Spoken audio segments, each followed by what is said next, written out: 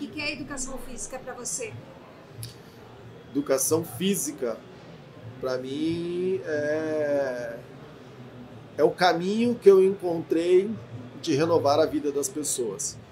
Né? Então, a educação física, quando eu escolhi a educação física, e, e isso foi muito louco, porque eu escolhi a educação física quando eu falei, pô, deixei de fazer contabilidade, fui entrar, falei, pô, é isso que eu gosto. Eu gosto de intervir na, na, na vida da pessoa, cara. Cada aluno que virava para mim falava, pô, cara, você está mudando a minha vida, pô, a academia mudou minha vida. Eu falei, cara, eu posso mudar a vida das pessoas.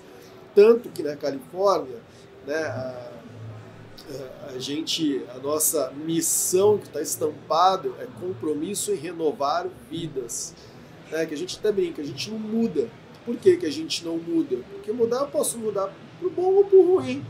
Renovar tô sempre, é sempre algo melhor do que o passo anterior que eu estava. Né? Então, ou seja, é, a educação física é a oportunidade que eu tenho através da atividade física de renovar a vida das pessoas. Essa é, é o grande, é o que move a gente, nossa missão lá internamente.